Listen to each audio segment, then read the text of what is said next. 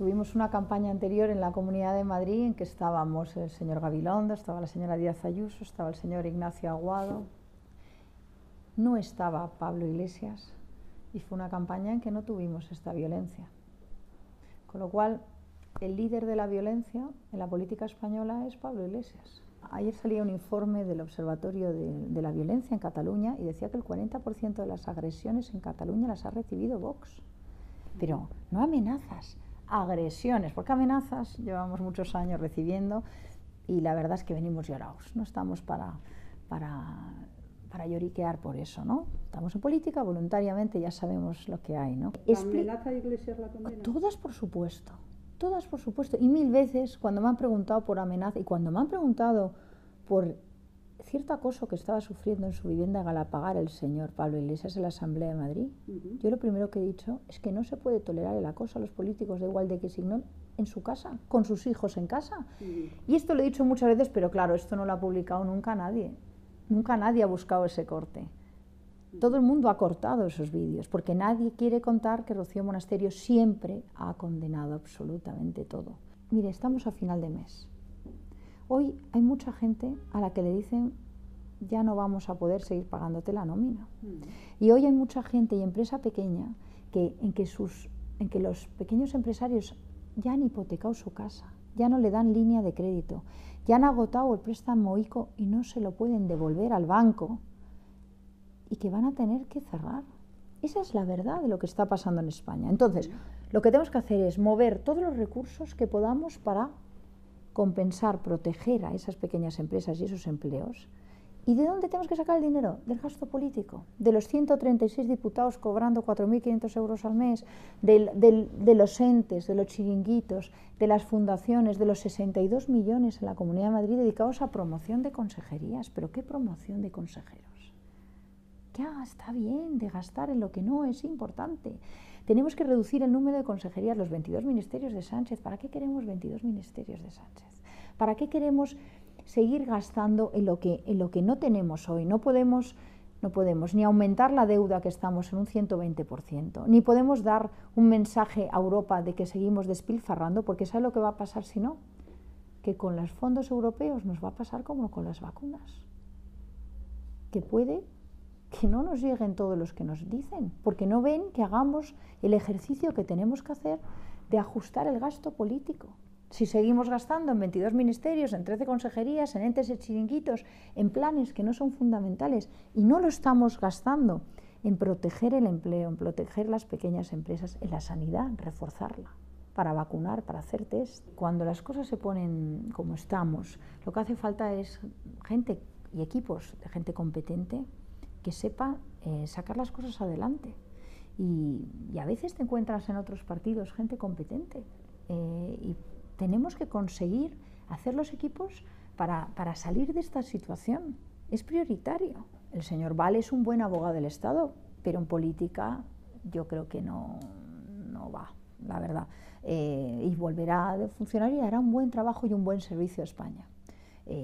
Señor Gabilondo yo creo que ya le, faltan ganas eh, y, le falta ilusión y le falta empuje. Y para el momento que estamos hace falta tener muchísimo convencimiento, muchísimo empuje, muchísima ilusión y muchísima capacidad de sacrificio. Y en Vox la tenemos.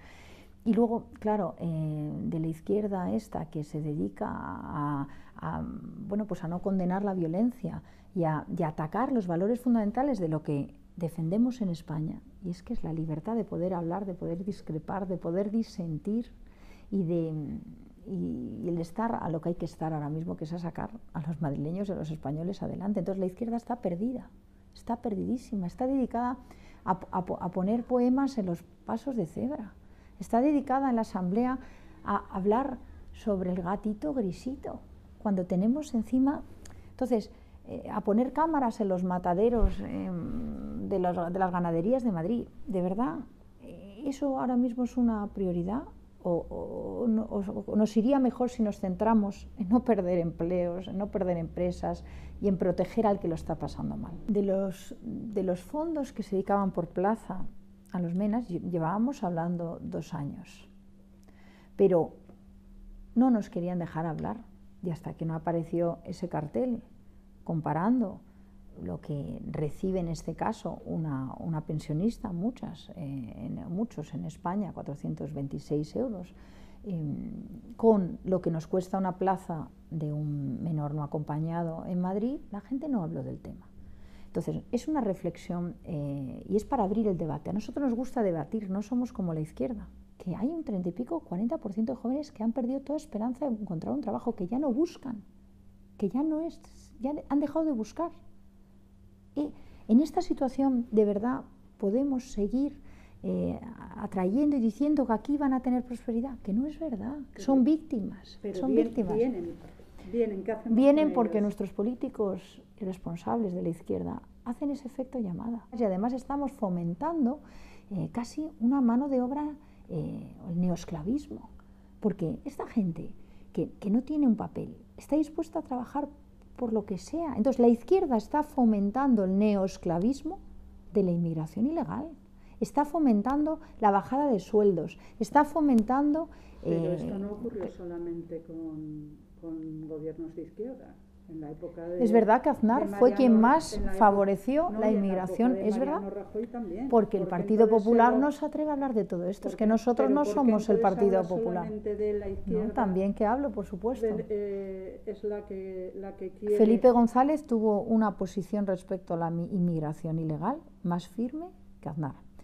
Eh, pero de esto no quieren que hablemos y por eso nos censuran. Entonces yo creo que hay que hablar con, claridad y con, y con, contundencia de estas cosas. No podemos seguir engañando a tantísima gente. Nadie ha desmentido nuestros 4.700 euros porque es un Excel que se suma... Pero el cartel era, era engañoso cuanto mínimo.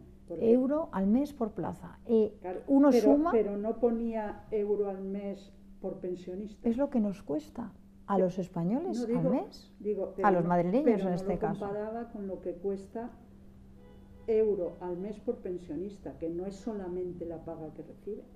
Bueno, si es que la paga que reciben, es que podíamos haber puesto también lo que recibe de paga en País Vasco un MENA, además de lo que cuesta por plaza, que, que recibe de paga 1.100. Pero no son MENAs, son los que dejan de ser MENAs a partir de los 18. No, no, pero tienen una paga también. No, los MENAs no. Sí, también tienen también. Es a partir de los 18. Entonces, si queremos, mientras están yo lo que veo es que hay muchas familias que, que en Madrid, en España, no tienen 1.100 euros para darle a sus hijos.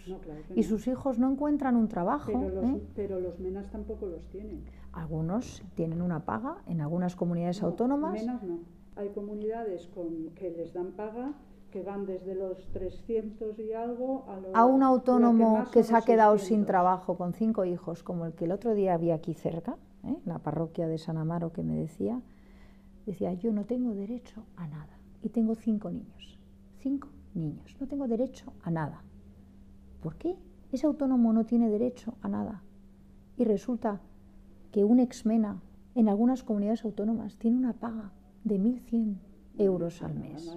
No, es que es injusto, es injusto. No podemos seguir promocionando la injusticia. Pero es que ese autónomo también tiene derecho a esa misma paga, porque es una paga... No, no. el, el trabajador del ERTE de un hotel que ayer me escribía no tiene derecho a nada, porque su renta es la del 2019. Si tres de cuatro menores de los que detienen en Madrid son menas y en Batán la delincuencia ha subido un 600%, bueno, es el informe de, la, de policía y el informe de fiscalía. Por cierto, el informe de fiscalía del año pasado. es que tres de cada cuatro menores detenidos por menores son españoles. Son de menas.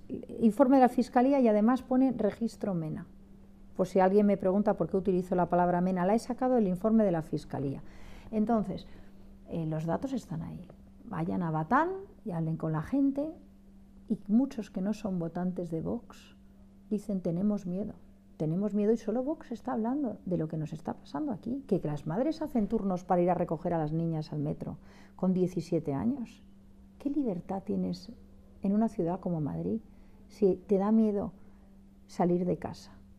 Te da miedo salir de casa. El otro día las chicas me decían, no, nosotros lo que hacemos es cuando pasamos cerca de estos grupos miramos al suelo, porque no quieren que una mujer les mire a los ojos. ¿Pero esto qué es? En España a la mujer se le respeta igual que al hombre. Es que hay un, falso feminismo, el feminismo de salón, el feminismo de pacotilla, el feminismo que ahora ¿eh? sale en las portadas de las revistas de que son estos, pues Irene Montero, Belarra, que, tiene, que están en el, en el, feminismo de poner falditas en los semáforos y escribir poemas en los, en los, en los pasos de peatones pero que cuando hay que mirar a los ojos a los de la delegación de Irán y decirles nosotros no vamos, no lo hacen.